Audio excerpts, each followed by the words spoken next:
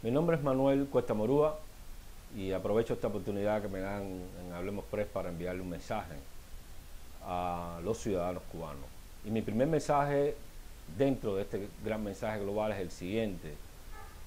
Represento una propuesta de cambio democrático en Cuba junto a otras propuestas que parte de una base fundamental que ustedes pueden entender.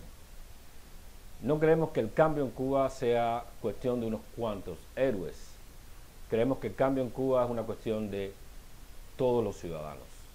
Y justamente el proyecto que animo junto a otros muchos cubanos apela a la ciudadanía, a su valor, a su fuerza, a su capacidad para juntos iniciar un proceso de transformaciones fundamentales desde abajo, desde la gente que siente y desde la gente que sufre. Pero ¿cómo? A través de las leyes. Y el proyecto que animo se llama justamente así, consenso constitucional.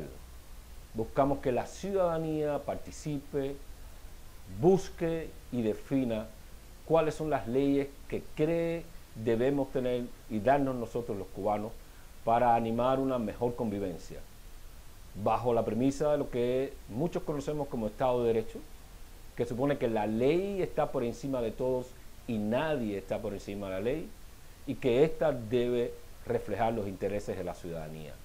Estamos en un buen momento para hacerlo, en un momento propicio, en un momento en que el malestar general nos puede coaligar a todos, unir a todos y empujar a todos para que Cuba tenga las transformaciones que nosotros creemos que Cuba merece. Tenemos una oportunidad y pueden aprovecharla todos los ciudadanos cubanos a través del consenso constitucional. Pueden hacerlo apelando a internet, los que puedan. Busquen allí en la página web de consenso algo que se llama consensoconstitucional.com.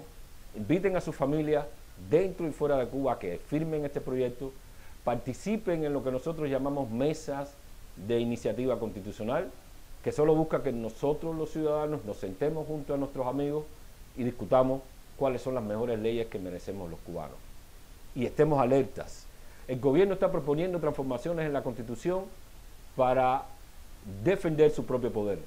Nosotros podemos buscar un cambio constitucional para reflejar, defender, promover y proteger los derechos de nosotros los ciudadanos. No se olviden, en algún otro momento estaré conversando con ustedes pero les invitamos justamente a Consenso Constitucional, un proyecto que busca el cambio de la ley a la ley. Muchas gracias.